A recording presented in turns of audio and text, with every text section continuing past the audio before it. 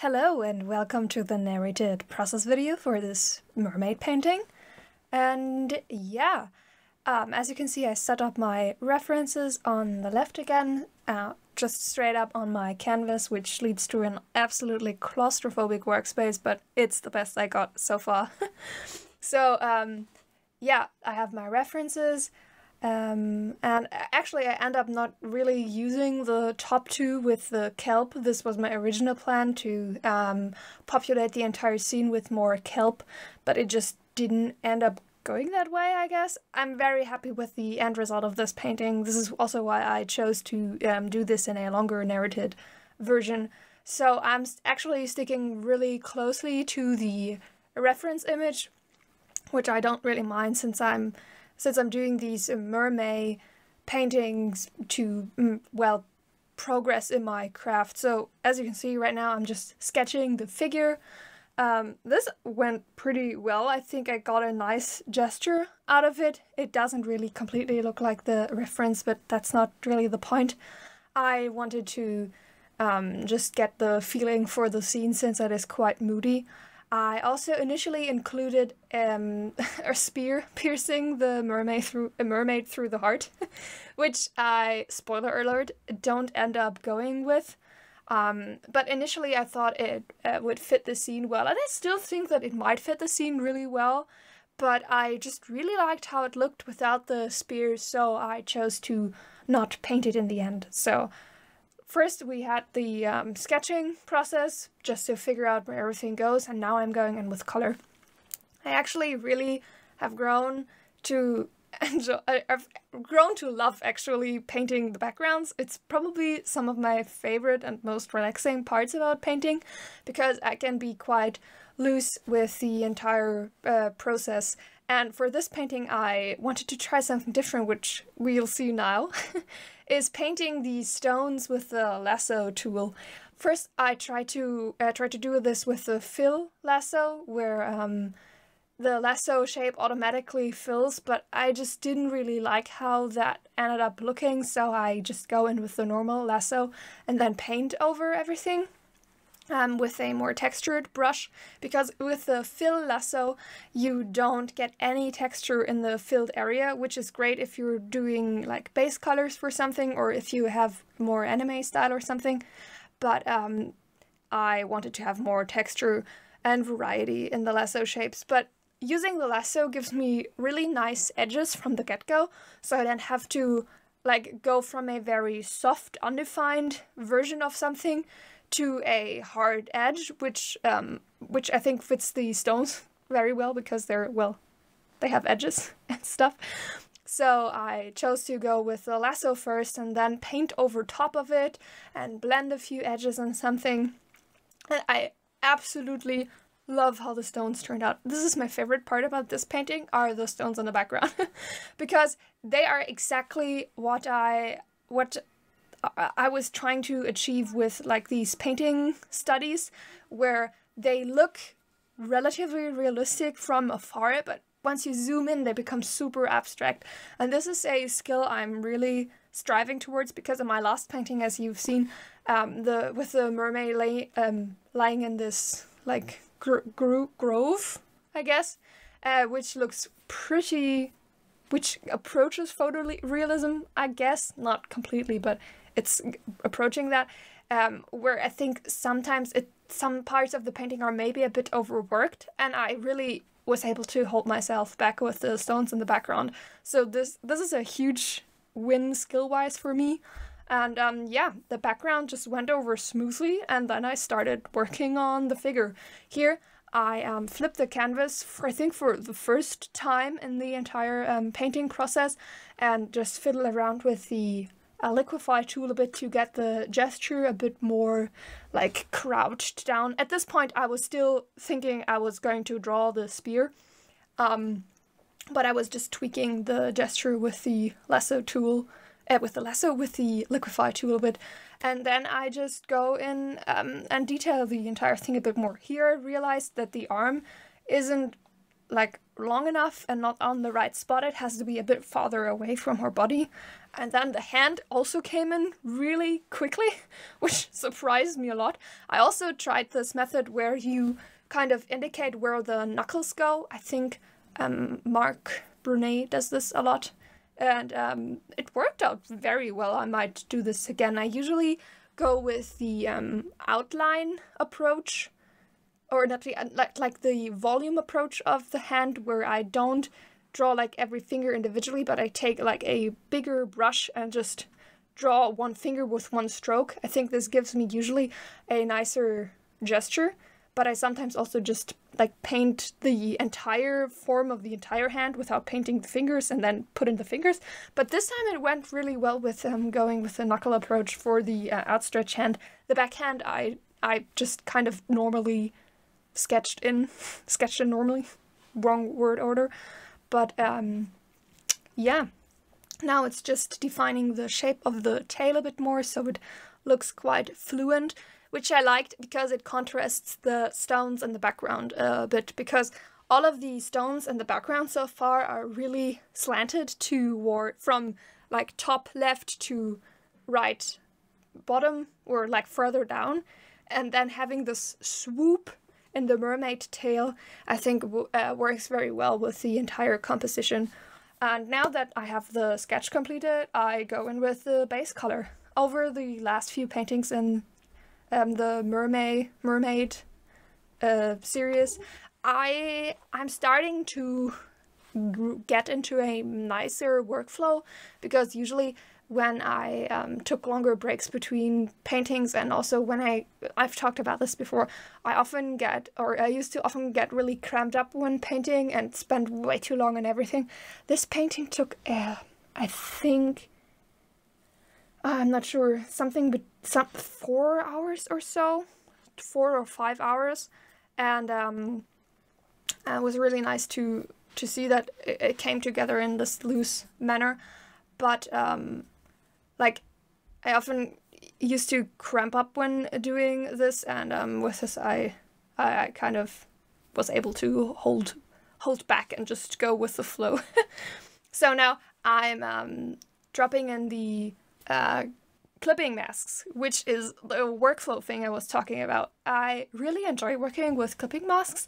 I did this in the past as well, but not nearly as extensively as I'm doing in this painting.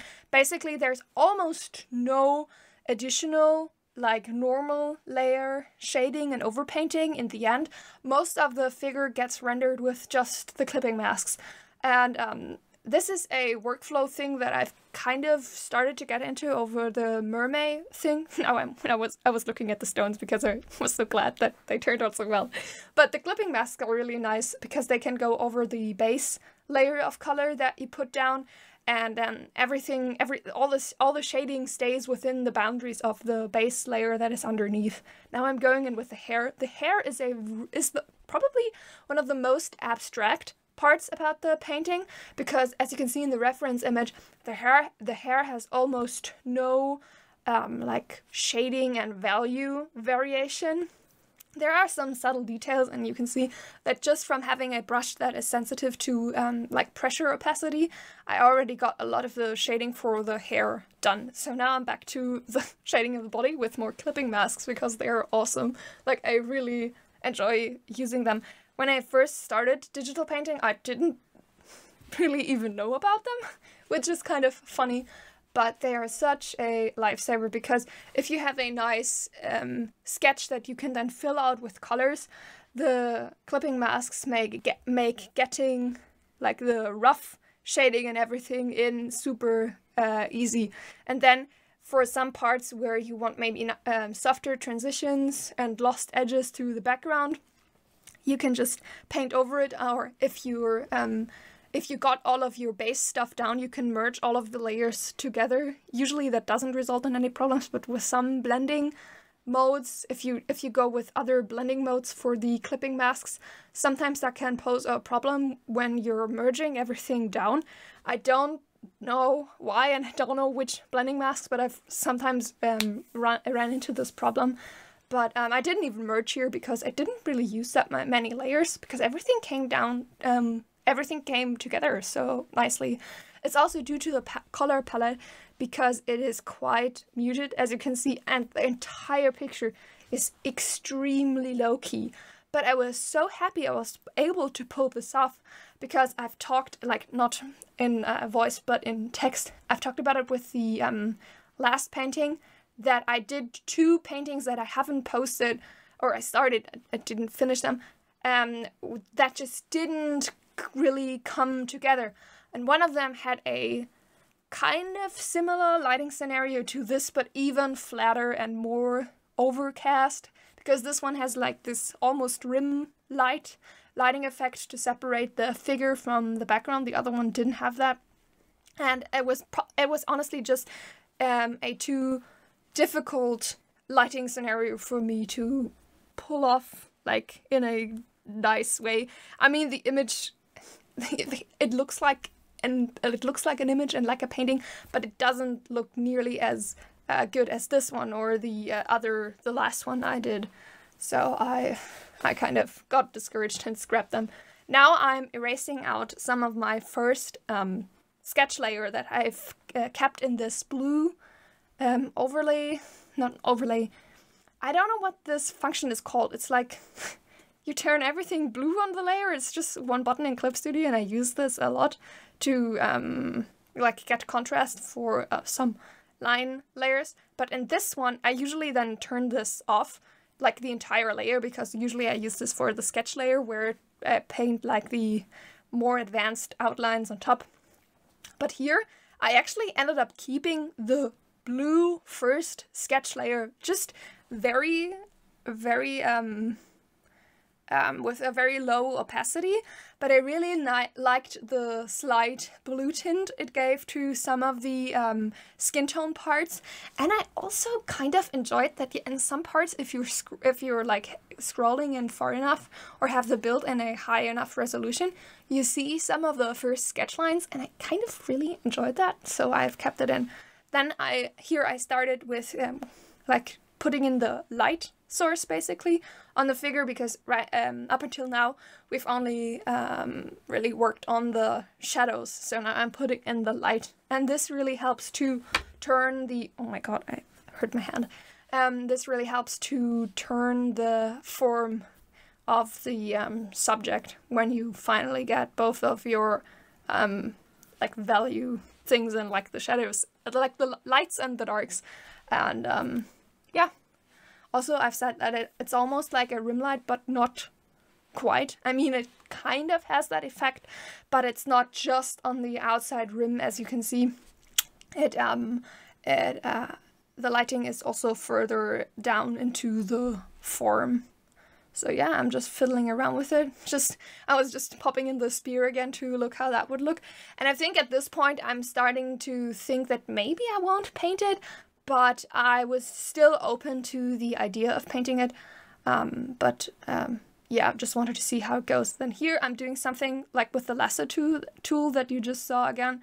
That is also so incredibly nice to use is that if you want to have a nice edge between some parts, like between her arm and, and her, um, like the rest of her body, it had to be separated more because the light was shining from like behind her back and then is hitting her um, her back and her like butt, I guess. Do mermaids have butts? I don't know. Uh, but the other side of the arm is dark, so I lassoed around the arm where I knew I didn't want to paint, then inverted the selection, and then painted the light sources on the rest.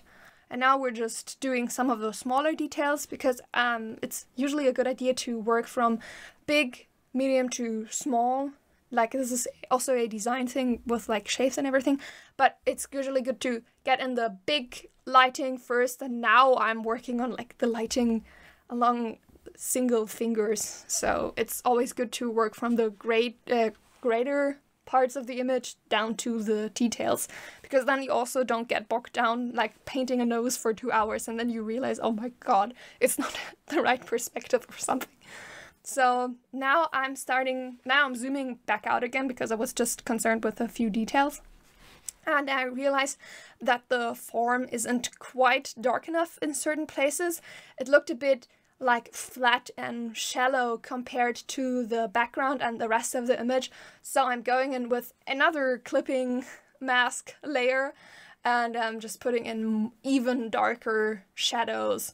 And you can see I'm losing a lot of edges in this one, but I quite enjoy this. You can all you almost can't tell the um like where her body stops and the background starts but I really like this. I think it adds a lot to the atmosphere of the painting because what you see now is basically, uh, minus the reflection in the water, it's basically the um, gist of the entire thing, even though we have like over half of it of the um, painting to go. Now I'm going in with like a few details in the hair, but as I've, as I've said, the hair doesn't have a lot of detail whatsoever which is also super um, fun about this piece because the last few um, paintings I did were very concerned with the face as a focal point, and this one uh, is like the complete opposite. It's just body and environment that we have to look at because first of all the face is obscured but the hair is also so like toned down and abstract that we can't even really look at it because there's not much detail and information there to look at. And um, yeah, I think this gives the entire atmosphere, uh, the entire painting, a really nice and moody atmosphere, and almost looks like she's part of the stone, like hewn from the stone, but still a living thing. And I, my uh, my imagine my imagination really went ran wild. I think if I had wanted to push this direction further, that would have been a really cool idea and a nice call. But um, since I want to do these paintings quite quick to work on um, my ability to pull an entire piece together in like less time and to not cramp up so much, I didn't try to go for something like this.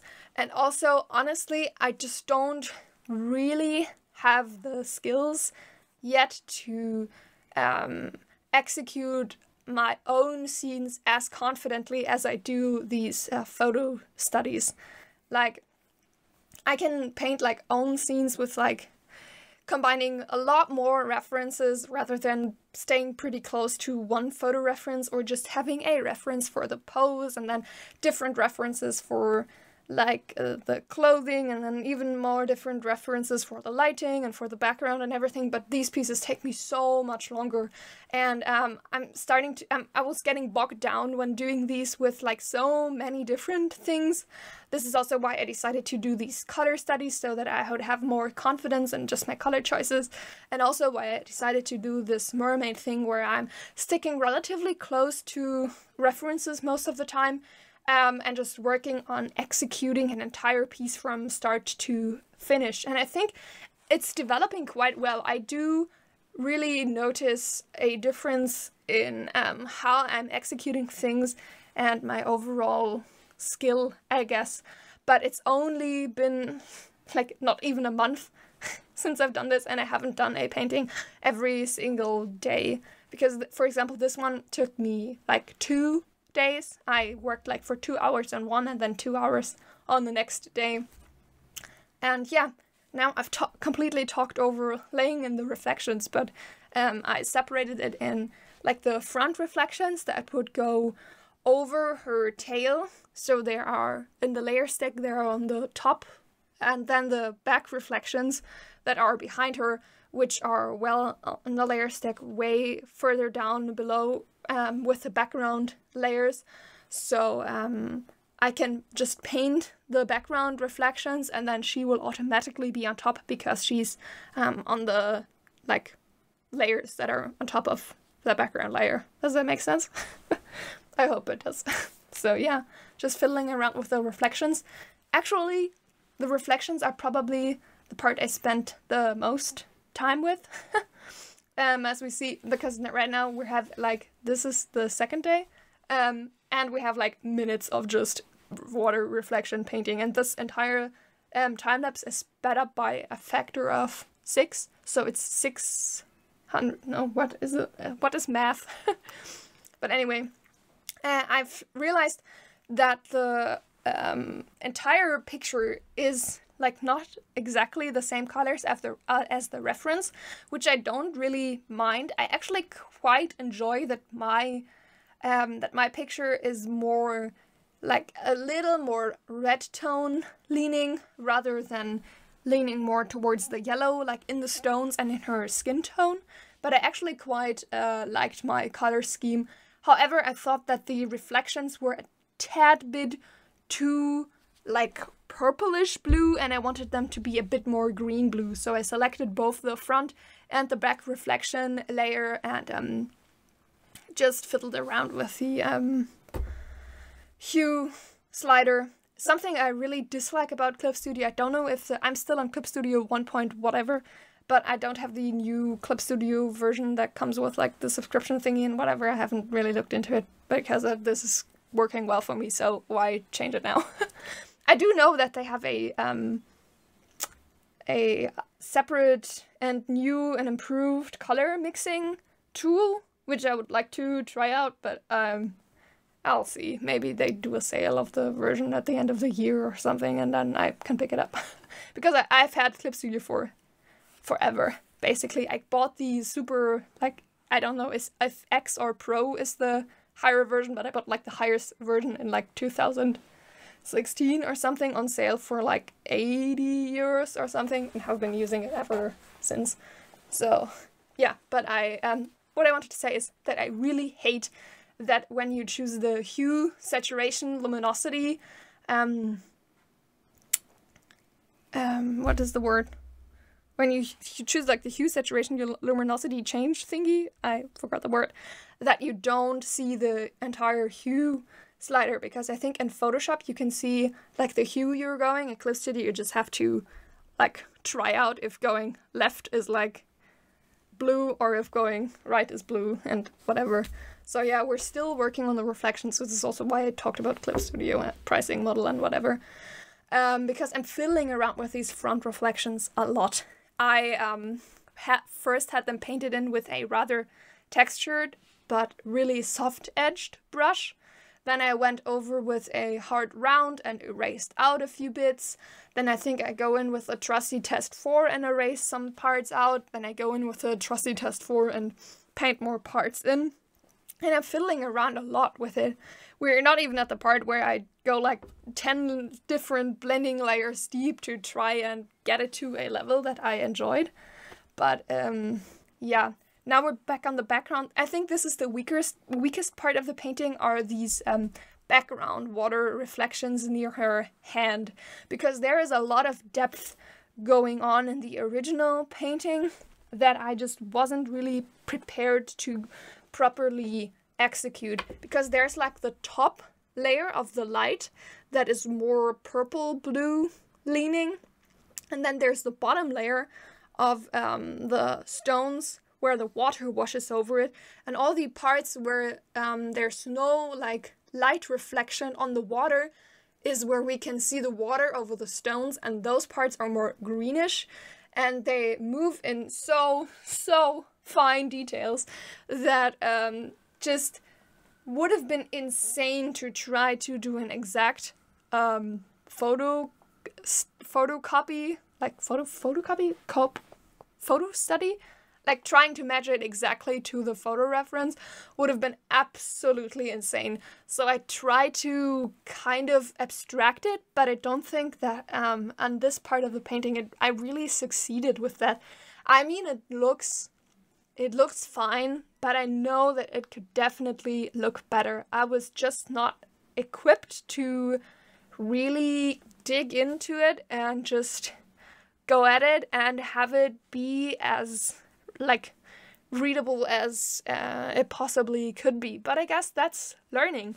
Now I know that this exact um, lighting scenario of water on like stones is a lot more tricky to pull off than I first thought. I've done this a few times, like a few times in my um, color studies and also a few times in MerMay with like water over stones, but not in a lighting scenario like in this picture and I was just not able to pull it together as well as I would have liked. And here I realized that I needed more um, like reflections around where her tail goes into the water. I also think I could have done this uh, part a bit better, but I didn't. And at this point, I was like, yeah, her body is underwater, so we should probably tone down the light um, at this point a bit of her tail underwater, so I erase out a bit of my um, clipping mask layer. And then while I was working on the body, I was like, hey, I haven't really done any detailing beyond the clipping masks. And then I start to erase out a few of the outlines at some point um, where the, the lines were distracting from the painterly quality, but I keep a few lines in, so now I'm erasing stuff and just I'm really eyeballing it here. I don't have a like definite recipe where to erase stuff and where not. Um, I'm just going with what looks good. Then here I'm fiddling around with her with the shadow on the elbow. I still think it looks weird, but I guess that's learning too, because my I mean my anatomy skills. I can fake a lot, I think, but I don't know a lot. so yeah but here we're going to uh, render the hands and I actually usually quite enjoy rendering the hands but it's so funny usually hands are either they turn out first try and look amazing or I have to paint them like five times and then they still look abs absurdly ugly.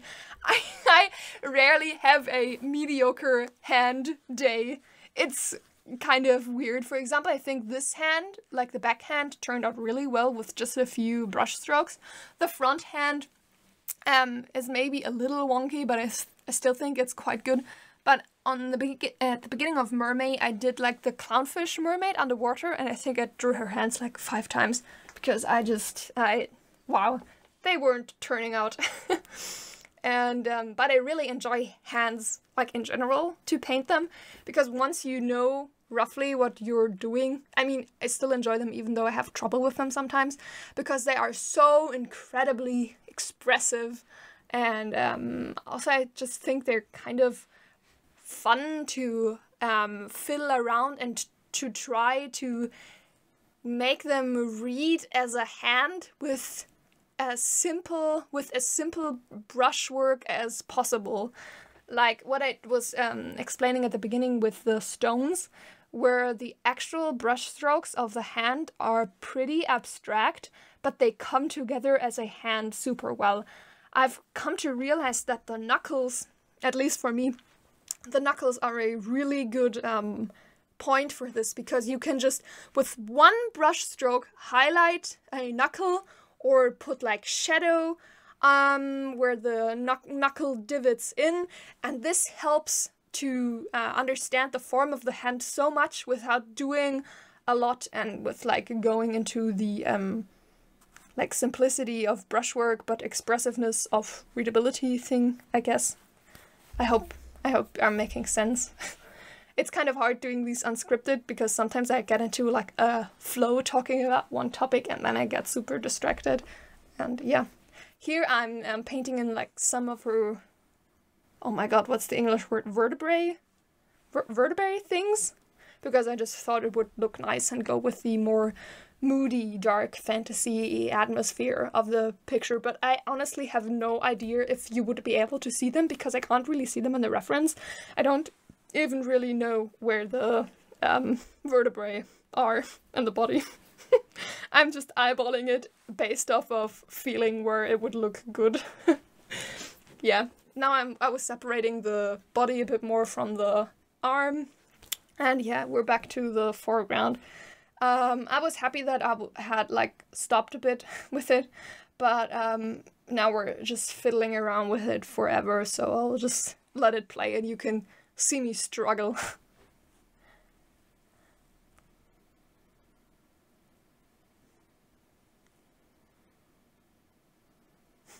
here, as I've said, now the um, blending mode layer insanity is starting.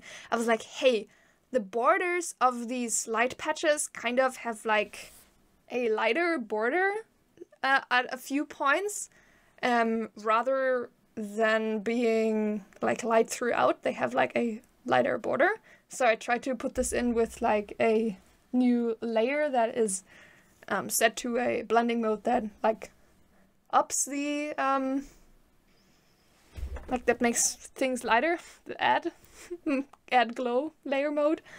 But it looked kind of weird so I was like nah it's probably the um the darker parts between the light reflections that are throwing me off. So I make another new layer then go over like the um the gaps between the reflections with a darker color but it still somehow looks weird so I'm like hmm what could I fix ah, I'll just paint even more details on a new normal layer and define the shapes of these things more and more.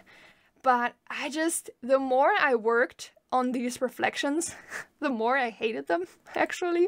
And I'm like, hmm, this is not working out. And you can see me flipping like the layer on and off and on and off, and then the another layer on and off to see the difference between the layers and what it does for the entire painting. But I just didn't really like it. Then I made another new layer and airbrushed over it, but this didn't help at all. So I make another new glow layer and put in more highlights, but it just looked a bit too like not structured and kind of haha watered down. So I'm like, you know what? I already did this in the painting. I have a tool where I can make super clean shapes that I can just fill with the texture and um, opacity that I like. And it would also go well with the stones where I used the lasso tool because I'm using, I'm employing the same technique. So I scrapped the entire thing. I didn't delete them, I put them in a new folder and then lassoed in a few shapes that um, just felt good. I really like this kind of basket shape that the reflection in the middle does. And so I just lassoed it in and filled it with like a bit of texture, a bit of airbrushing. And I was like, oh my god, these reflections look so much better. And I've worked like probably 30 minutes on the other ones and I'm like, oh my god, I could have saved so much time. But honestly, while I was painting the first set of reflections, I didn't even really realize that I could use the lasso tool because my brain, I guess, just was like, hey, we're rendering now and not laying in some of the stuff. So yeah, but I'm glad I decided to go with the lasso. Now I'm softening a few of the edges because the lasso tool obviously makes extremely hard edges. So I'm going in with a few blenders, squishing it around, using like the thumb blender thing. And um, here I'm erasing out a few things because as I've mentioned, a few of these reflections have like a lighter border and are more transparent inside. I guess this is where the um, waves are turning uh, towards being invisible, like not being hit by the light. I'm doing like a sine wave motion with my hand that you can't see. I hope this makes sense. So um, I was so much happier with these new reflections. Here I'm emphasizing a few of the borders with a glow layer, um, but uh, the shapes were just so much cleaner and nicer than the previous previous reflections. And um, since I already did this lasso trick on the background, I thought it would like be good to have this mirrored in the foreground as well. Because actually I quite enjoy the digital look that you can achieve with like that automatically often happens with digital painting.